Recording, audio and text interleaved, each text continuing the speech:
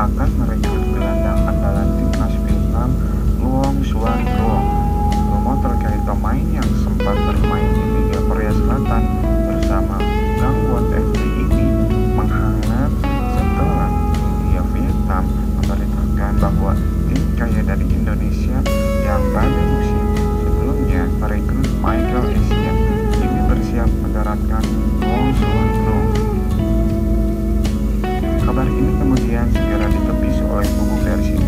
melalui pernyataan dari Direktur Dedi Cahyono menyebutkan bahwa kabar mau Bandung meminati Luan Xuan Luong tidak benar.